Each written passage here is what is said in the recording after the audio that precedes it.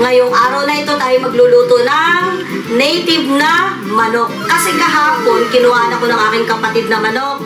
Dinala dito, ayun, pinakatay ko na. Ayan, daladala niya yung manok. Kaya ngayon, ang nangyari sa manok, ito na. At saka, ito yung mga sangkap ko.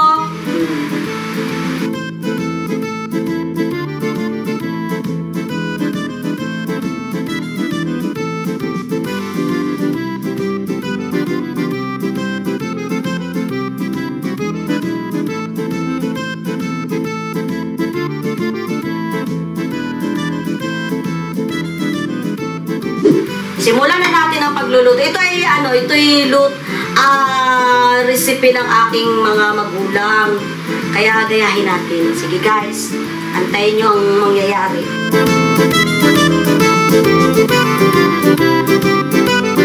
Kasi pag nagluluto yung nanay ko, ang ginagawa niya sa manok, lalo na at native, inaano muna sa mainit. At init na guys. Naku, sis Mariusep. Ilalagay muna sa mainit yung manok para pag ah, maano yung lansan niya, atin mo na siyang ilalagay. Hanggang medyo mag-brown. Saksak na natin siya. Eh, babalik ka rin ko na lang mamaya. Ganun ang nanay ko dati magluluto eh. Yun nga lang, ang lutuan namin noon ay ano pa, organic. Hindi ba kagaya ngayon na medyo maganda ang mga lutuan.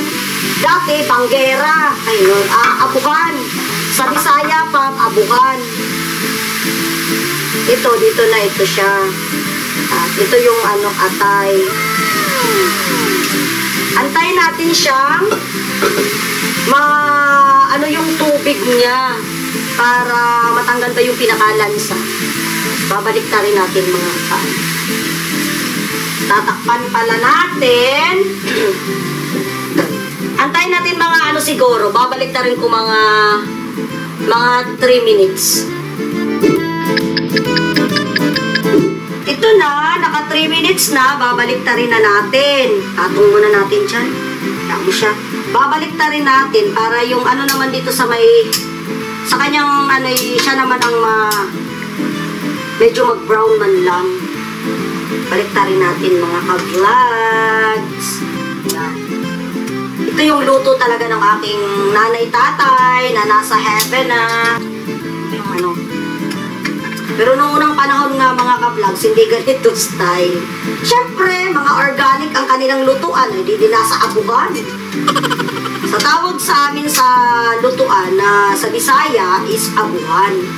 Okay, ngayon ay dito na, di, sa atin dito ay dirty kitchen. Ganun mga ka-vlogs. Ayan, ayaw bumaliktad ng pakpak. Gusto yata lumipad.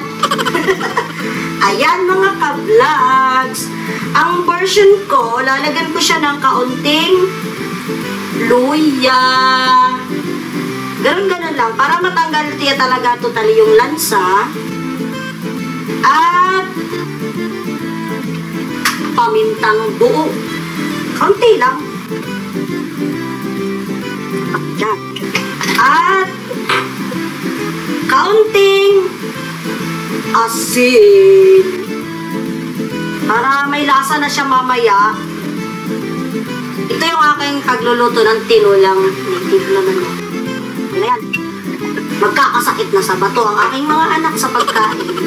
Tapos, lalagyan ko ng kaunting suka. Pati kaunti lang. Kalat-kalat natin. Takpan uli natin after 3 minutes uli. Huwag kayong mainit. 3 minutes. Ito, ito mga ka-vlogs. Marami pa siyang sabaw. Kailangan, maano talaga yung sabaw niya. Pa, anuhin natin. Uh, maip-ip talaga as in. Mawala ang sabaw. Marami pa eh. Kaya after 48 years, tsaka natin makakain siya. Hindi pa pala makakain kasi lulutuin ko pa dito. Kasi ito ay ano, native. Eh, syempre, makunat-kunat. Hindi. Eh, may pressure cooker natin, wala ang kunat niya. Tinula siya mamaya sa akin. Ito ating tatang ating tatanggalin na sa kawali. As kakaunti na kasi yung sabaw niya kasi 48 years na gutom na yung aking mga anak. Tanggalin na natin. Para igisa naman natin siya. Di ba? Ang bango mga ka-vlogs. O, nandito kayo, nako. Sobrang. Kita mo yung itlog. Meron pa siyang itlog. Oh. Ano lang mga ka-vlogs. Iiwanan na natin yung mga ano dyan. Sangkap. At itatapon na natin yan. Mainit na. Mainit na siya. Kaya lagyan ko na ng mantika kaunti lang. Tapos, antay nating mainit na talaga.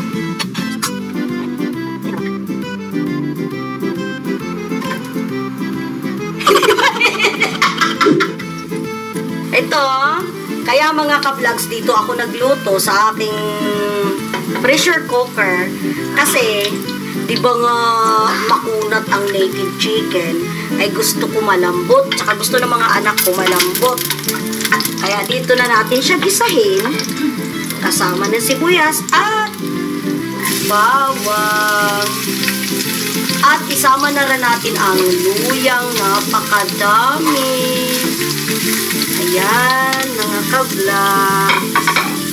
Tapos halo-halo-halo. Yan, okay na yan. Hindi natin masyadong lutuin itong sibuyas at gawa ng maano naman, papakuluan pa. Tapos, ilalagay na natin ang chicken.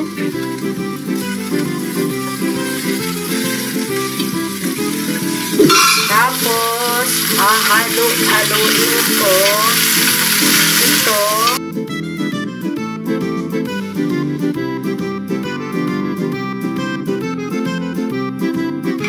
Tapos, lalagyan natin ng kaunting tubig na kulo na siya, ah, kulo na.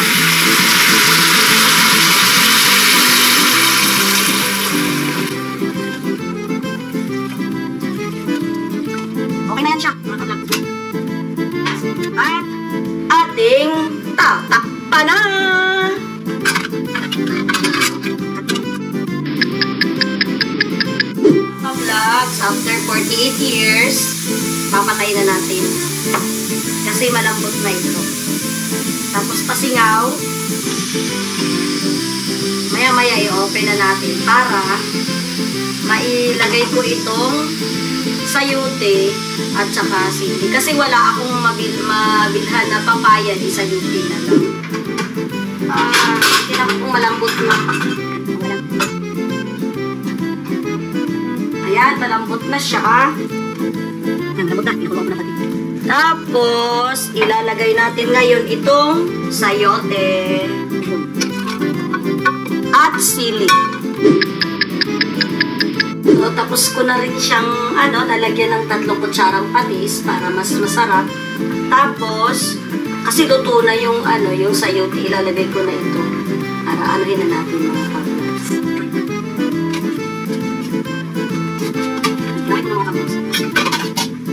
Lang tayo ng mga, mga ilang saglit-saglit lang. Ay, huwag na natin Kasi ang ano naman, ang ako na nilalaman ko.